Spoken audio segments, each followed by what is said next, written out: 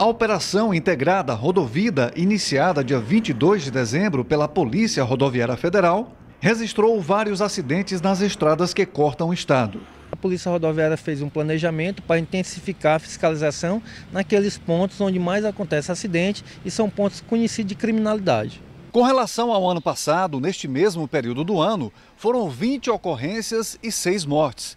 O número de acidentes graves caiu de 2016 para 2017 de 15 para 3 ocorrências.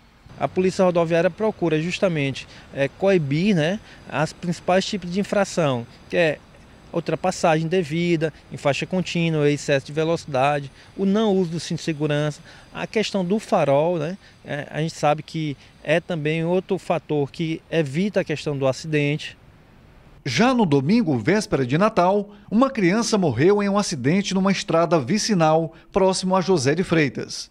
Também no domingo, uma pessoa morreu na PI 236, entre Oeiras e Tanque do Piauí. Uma motocicleta que transportava quatro ocupantes foi atingida por um veículo e terminou com a morte de uma pessoa. A Operação Rodovidas vai do dia 22 de dezembro até o dia 18 de fevereiro de 2018 quando termina o carnaval.